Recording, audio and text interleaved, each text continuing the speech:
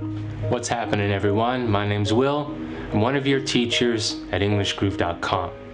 This is the Roadless Real English course, video story number two. Now, this lesson comes from my road trip India project. For this project, I traveled to India with my friend and photographer Mitsui Masashi. We started in the big touristy city of Calcutta, traveled south to the fishing villages of Puri, and then into the foothills and the tribal areas of Orissa, meeting interesting people and collecting interesting stories all along the way. We had an amazing time, and now I want to share those stories with you. But remember, this video story is 100% real English. You might not understand everything the first time. No problem. Watch the video story two, three times. Follow the active learning method day by day. You come back to review this video story, you will be able to watch, listen, and understand.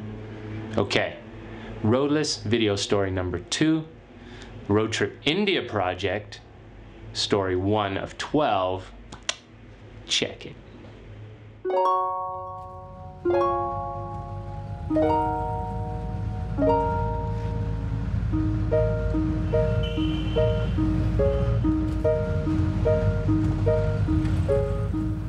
Driving into the city of Calcutta, you know immediately that you're in a different world.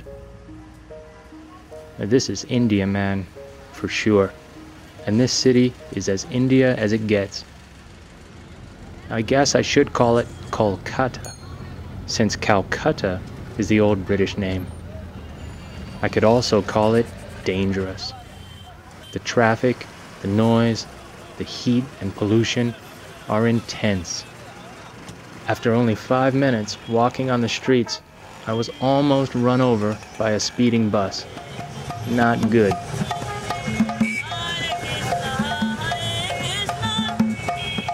Life in the streets and life on the streets are the best and worst things about this city.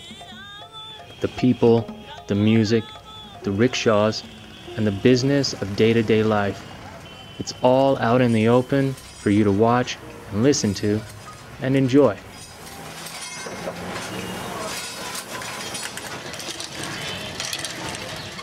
When you come to India, you're always taking a few steps back in time.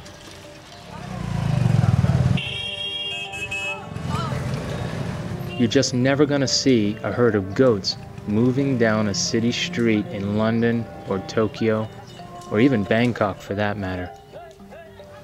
But in Calcutta, it's life as usual for the 15 million people who call this city home. And what an unusual life it is.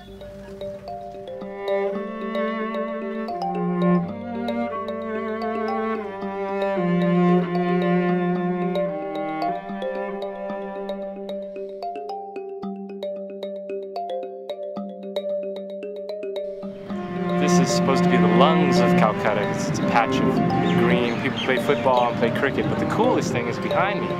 We're separated by this barbed wire fence. And Masashi and I were thinking, well, what's what's with the barbed wire?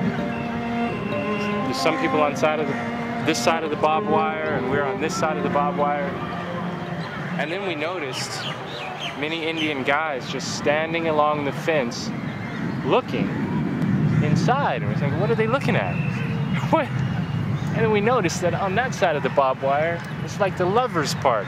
They're not really making love, but sitting, holding hands. The poor saps on this on this side, it's all guys holding hands with each other. But on that side, as we're gonna focus in in a minute, it's uh, it's normal. Guy and a girl kissing or holding hands or talking closely, and the guys over here are are watching it like it's a Bollywood movie. It's the coolest thing I've ever seen. It's like totally cool and totally fucked up at the same time.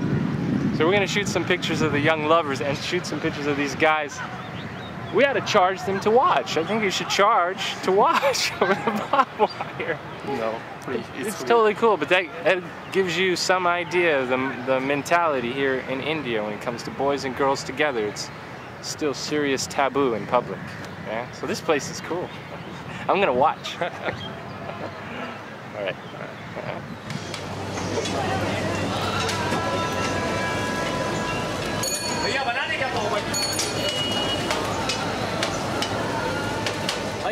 Kolkata is known as the cultural capital of India because many famous artists, writers, and poets come from the city. For me, the best thing about it was the fresh sugarcane juice, served over ice with lime. It's absolutely fantastic and refreshing on a hot day. And every day is hot in Kolkata.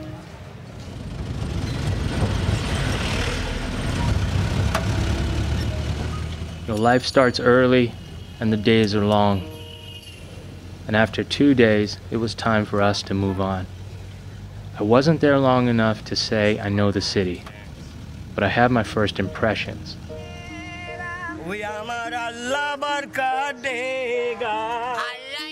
The people are colorful and full of life and song, but it's not an easy life. The poverty is unbelievable. But we should remember what Mother Teresa once said that loneliness is the most terrible poverty. And she gave her life and soul to this city, and she knew it well. It's true that thousands of people live, work, and eat on the streets, but there are so many of them that they never do it alone. They live with a certain sense of togetherness and community. They are terribly poor, but at least they are not lonely. We got on a train and headed south to Orissa.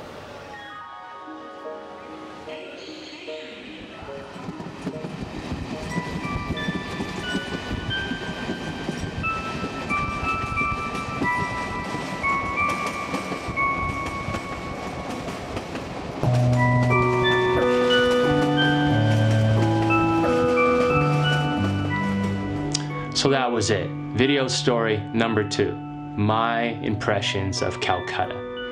Now remember, the lesson question is tell us your impressions of some interesting place. Watch this video two or three times, follow the active learning method day by day, then come to the website and tell us your impressions of some interesting place. So thanks for watching, and until next week, Video Story 003. See ya.